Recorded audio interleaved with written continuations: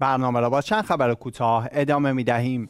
دفتر مرجع عالی قدر آیت الله العظما سید صادق شیرازی در شهر مزار شریف کشور افغانستان در ادامه فعالیت های خیریه خود اقدام به ذبح چند رأس گوسفند کرد این اقدام به نیت سلامتی و تعجیل در فرج حضرت ولی عصر عجل الله تعالی فرجه و شریف انجام شد و گوشت حاصل از آن به دست دهها خانواده یتیم و نیازمند شهر مزار شریف رسید. این 28 مین مرحله از پروژه توزیع گوشت قربانی توسط این دفتر در میان نیازمندان است.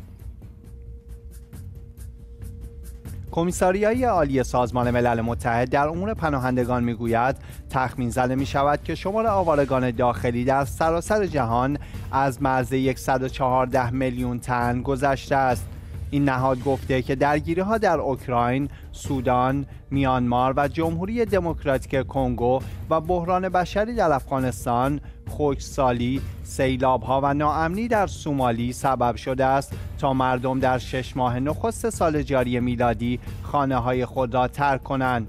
پیش از این UNHCR در گزارش میان سالانه 2023 شمار آوارگان داخلی در سطح جهان را 110 میلیون تن گفته بود.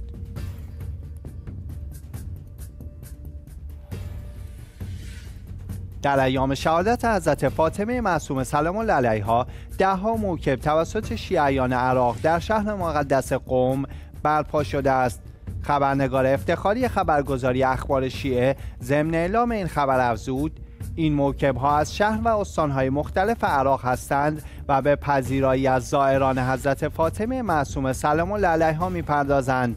وی در ادامه افزود. خیابانهای اطراف حرم متحر پر شده است از این مواکب و سیل جمعیت برای زیارت و عزاداری. به مناسبت شهادت حضرت فاطمه معصومه سلام الله علیها در حرم متحر حضور یافتند.